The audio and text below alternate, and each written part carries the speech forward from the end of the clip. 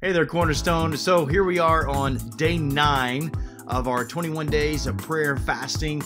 Uh, again, with our theme being no boundaries. And I've just been talking about the, you know, the the fact that uh, you know a lot of people uh, when they go into a fast, they fast for things that they want, and uh, and we set up our goals and our dreams and our ideas and what we feel like we want. And so we pray into that, thinking that we can somehow, in in, in some bad teaching, is to, that we can somehow twist God's arm to uh, serve our needs by prayer and fasting.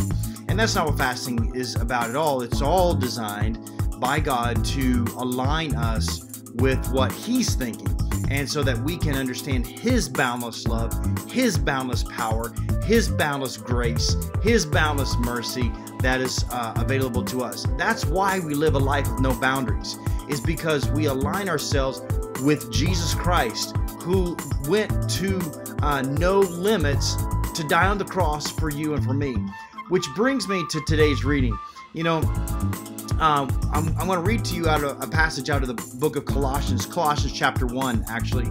And, um, you know, the book of Colossians was written by Paul to the church of Colossae. And the whole reason was because there was some heresy that was that was seeping into the church. There was some false teaching, and so Paul writes this letter to combat that. And he doesn't really ever address what the false teachings were or the heresies were.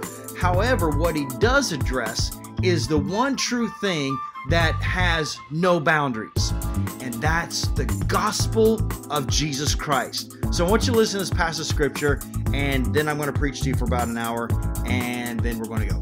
So here we are. I'm kidding. All right, Colossians chapter 1 and verse 3. And he says, We always thank God the Father, our Lord Jesus Christ, when we pray for you because you have heard of your faith in Christ Jesus and of the love you have for all your saints. Now, watch this, verse 5.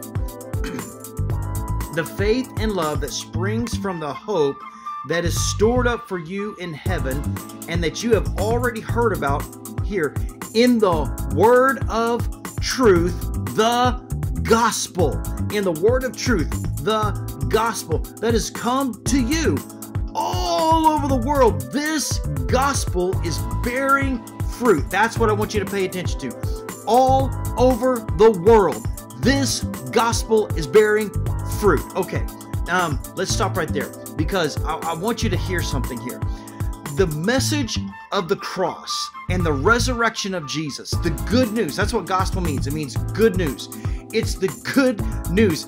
It works whether you are here in New England or whether you're in the Midwest or on the Gold Coast or you're in the Down Under. It doesn't matter where on this planet you are, in what time frame you live in, in what era you grew up in, in what socioeconomic situation you surrounded yourself with. It doesn't matter. The, the, the places that you have found yourself in, the bondage that maybe that you're struggling with. None of that limits the power of the gospel. The gospel is the life that that's the life-changing message that Jesus died on a cross. He loved us so much that he died on a cross for our sins. And that if we will just believe in him, then we too can have that eternal life that came because he beat death, beat hell, beat the grave, overcame, and that is what we're about to celebrate here in a couple weeks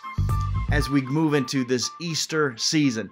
And so I am so charged by this because the gospel is is the power, the the, the life-giving, life-changing message that it doesn't matter if it's told from a pulpit or if it's told to the cubicle next to you.